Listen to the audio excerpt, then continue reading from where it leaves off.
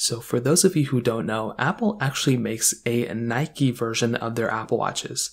I think probably most people know this, but some people may not know there are some actual slight differences between a Nike Apple Watch that they make and the standard Apple Watches that they also make in the same series. Now, what's funny is is that there's not really like a crazy amount of differences, but there are some slight ones for sure. So let's go and talk about it. Now, the first thing I would tell you is that if you don't really even care about Nike or if you don't care about running or anything like that, the standard Apple Watch is probably the one I'd recommend a majority of people to buy. It's typically the one that is just the easiest one to pick up. And compared to the Nike version of the Apple Watches, you're probably better off just purchasing the standard one just because it is just kind of easier to not easier to buy but it's probably the one that's kind of the one that's probably easier for everyone to kind of own. So just go ahead and buy that one. But with the nike version there are a few features added within the specific apple watch which is actually quite nice. So first of all with the exterior of both these apple watches they are almost identically the same on the outside but on the back of these apple watches you do actually get the nike logo on the back of that apple watch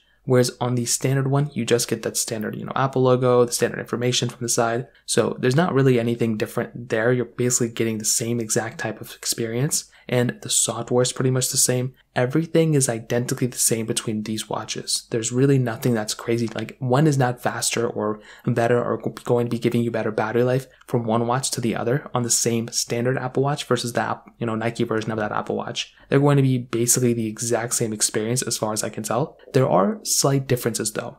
So for one, you are actually getting the ability of automatically getting a nicer band. So you can choose one of the newer Nike bands that they have, and they're actually quite nice. You know, they have the standard like Milanese loop ones, they have the rubber ones, they have like the Velcro ones that I personally like using a lot, and those are actually really nice once again, having that type of capability of just like throwing a band on and kind of moving on with your life is actually super nice. And within these watches, it is actually a really, really nice touch. So I think that's a really cool thing that we have going on with these watches. Now, another thing is, is that we do have with the Nike ones, we have a new Nike watch face. So there are specific watch faces that are made for these Apple Watches by Nike. You can't really use them unless you have the Nike's version of those watches, which can be kind of annoying because if you don't have them, then you're missing out. But they're they are actually pretty nice you know watch faces. I'm not gonna lie some of them. So it's a really nice touch that you have with the, these ones too. So that's another really cool thing going on with these watches. On top of that you do get the nike run club app on your phone so it kind of tailors in really nicely with those and